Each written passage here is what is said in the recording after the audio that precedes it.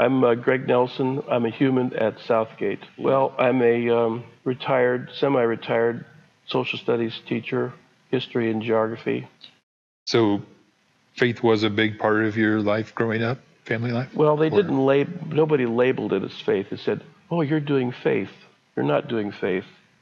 But um, through action, my parents and grandparents and so on have always been active in the community and they've expressed their faith in, in different ways through helping other people mostly, trying to be good citizens and so on. My faith has helped me to focus my life in certain directions, one in the direction of scouting and the other in, in maybe environmental awareness.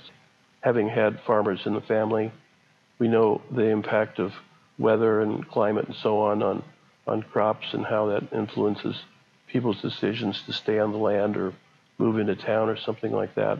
So I became interested in stopping the KSL, KXL pipeline after um, talking to people who were interested in, in doing that and met a lot of wonderful people, uh, particularly some wonderful Native Americans.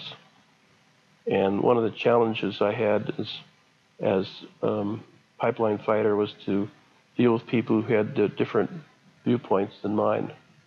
So we, um, many of the Nebraska delegation went up to Congress to talk to the five people from Congress and try to convince them to stop the pipeline, um, protect our land and our soil and our water, and they wouldn't talk to any of us.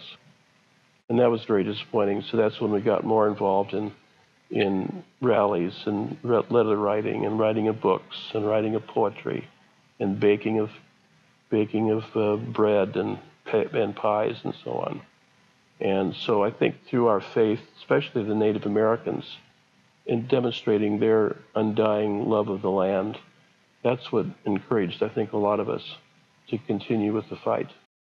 Describe a time when God felt you felt God nudging you out of your comfort zone. Is that was that a lot of that that's case? Part of it. To to be out of my comfort zone is to is to take a stand, a political stand, or a environmental or, or emotional stand against people you think are not on the right page as far as environment is concerned, trying to protect the land, and that's what really um, encouraged a lot of us to to use our faith more actively and try to do what is best for not only ourselves but seven generations down the road, which is the Native American expression. The, the big project I'm working on is trying to help help young people get through scouting and become productive citizens.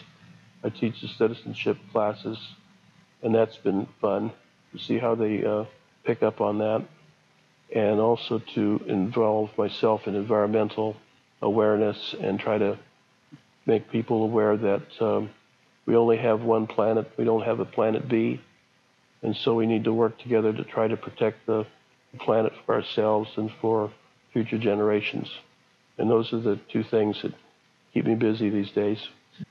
I've learned so much from involved with the Native Americans and people of other religions.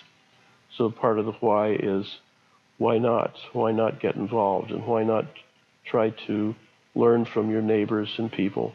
You can learn from people you don't like. You can learn a lot from them and find out why they're different, why they're um, so adamant in their viewpoint.